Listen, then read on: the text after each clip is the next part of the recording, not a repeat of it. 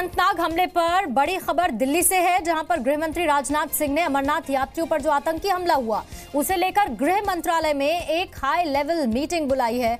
इस बैठक में गृह मंत्री राजनाथ सिंह के साथ साथ राष्ट्रीय सुरक्षा सलाहकार अजीत डोवल भी मौजूद रहने वाले हैं और साथ ही बैठक में गृह सचिव आईबी और रॉ के चीफ भी मौजूद रहेंगे। इसी बैठक पर और ज़्यादा डिटेल्स लेने के लिए सीधा हम रुख कर लेते हैं। विशाल के पास न्यूज़ रूम से इस वक्त वो हमारे साथ मौजूद है। विशाल, और क्या जानकारी बैठक को लेकर?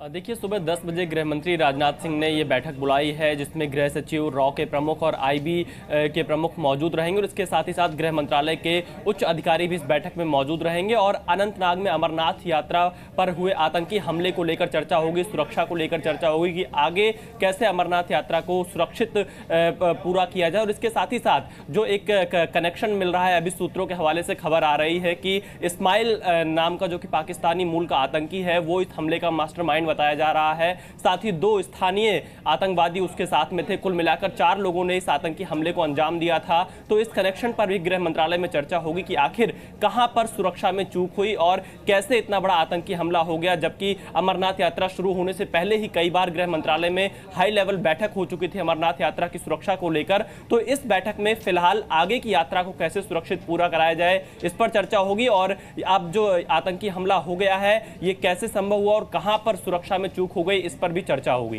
बिल्कुल, लेकिन इसके साथ ही क्या इस बात पर भी चर्चा या फिर या फिर अजीत डोवल ने जैसे कल पीएम को ब्रीफ किया था विशाल, पूरे घटनाक्रम को लेकर उन्हें जानकारी दी थी, ऐसे में क्या आज इस पर भी चर्चा होगी कि ठीक है, कड़ी निंदा ठीक है, इसके बाद आप बात कर लीजिए कि सिक्योरिटी लैप हुआ या फिर गाइडलाइंस फॉलो नहीं की गई, जिसके बाद ये हमला हुआ, ठीक है, लेकिन इस बात से तो नहीं नकारेंगे ना कि आतंकियों ने मारा है इन लोगों को जो अमरनाथ यात्रा के लिए उसमें शामिल होने के लिए श्रद्धालु पहुँचे थे तो क्या इस पर भी चर्चा होगी कि क्या कड़ा एक्शन आगे हमें लेना है। आज तो सिक्योरिटी चीज़ों को आप एक बार रिवाइव करेंगे, आप उन पर एक रिविजन देंगे कि कैसे और उसे बेहतर किया जाए। लेकिन इससे बात अब आगे कहाँ बढ़ेगी और कितनी बैठकों का दौर बाकी रहेगा?